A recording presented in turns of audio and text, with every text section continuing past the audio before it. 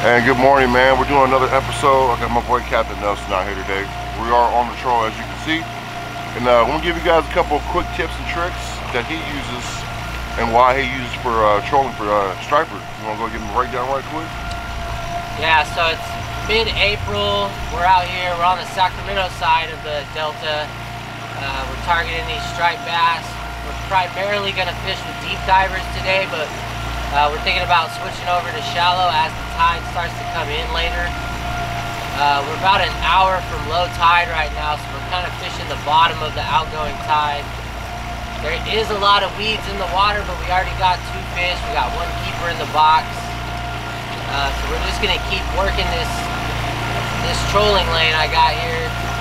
I'm, for the most part, I'm gonna be in that 13 to 14 foot of water the deep divers. Um, I use a 30 pound monofilament or CSX shocker leader, a bumper leader above my lure. So I can get in pretty tight to the bank without my lures snagging up on the bottom. They start hitting bottom usually around 12 and a half feet. So we're gonna keep working this shoreline here and uh, it's been pretty good the last couple weeks. We had uh, three days in a row, three trips in a row, we caught over 30 fish each day We got our limits within the first two hours and then uh, just started throwing them back.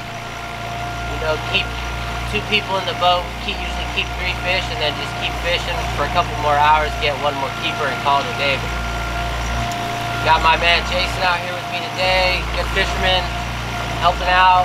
We can't run clients right now because of the lockdown, but uh, on a bigger boat, you can still have two people on board and fish comfortably without being in each other's space. So see what happens. See what we can do. appreciate it.